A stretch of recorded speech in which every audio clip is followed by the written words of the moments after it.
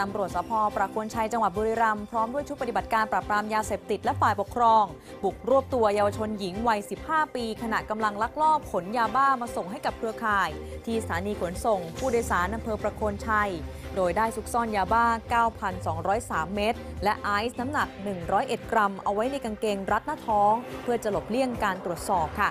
จากการสอบสวนรับสารภาพว่ารับจ้างชาวกัมพูชาขนยาผ่านลายลูกรัก ได้ค่าจ้างครั้งละ 3-5หมื่นบาท เคยส่งยาบ้าในพื้นที่บุรีรัมย์มาแล้ว 4 ครั้ง ครั้งละ 1-2หมื่นเม็ดค่ะ ส่วนสาเหตุที่ต้องรับจ้างขนยาเป็นเพราะว่าเพิ่งเลิกกับสามี และต้องการหาเงินมาเลี้ยงดูลูกวัย 4 เดือนค่ะ แต่ทั้งนี้เจ้าหน้าที่ยังไม่ปักใจเชื่อ เตรียมสืบสวนขยายผลไปถึงผู้ร่วมกระบวนการ เพราะสืบทราบว่าการตกลงซื้อขายยาแต่ละครั้ง จะโอนเงินผ่านบัญชีของมารดาของผู้ต้องหาค่ะ